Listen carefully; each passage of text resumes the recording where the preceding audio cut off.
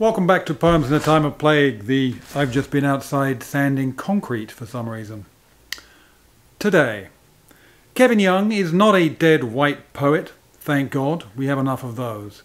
Very much alive and a little more relevant than, say, William Wordsworth.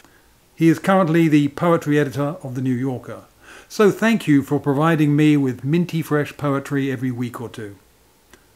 Outside of that gig, he is a teacher as well as a maker of the strung together word salad we like to call poetry. Now listen up and pay attention. Errata. Baby, give me one more hiss. We must lake it fast, moreover.